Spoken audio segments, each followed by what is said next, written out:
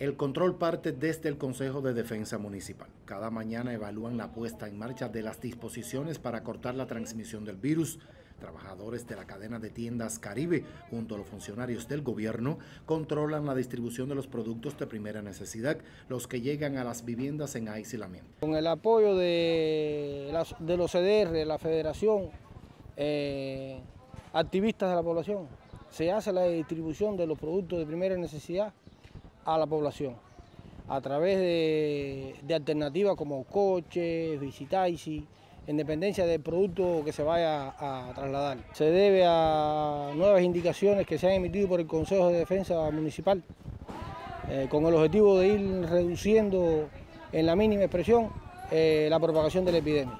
De igual manera reparten hacia otros consejos del municipio, proceso a través del cual evitan la aglomeración en establecimientos públicos.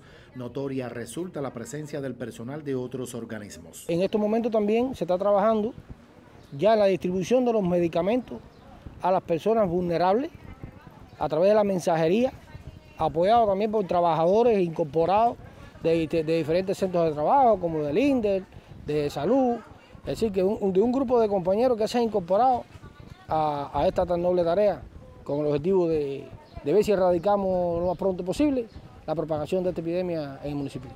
Una batalla que por varios días vive el municipio de Cumanayagua ante la compleja situación que enfrenta por la elevada transmisión del SARS-CoV-2. Cortarla en el menor tiempo posible es el propósito. Guillermo Martínez López, Notisur.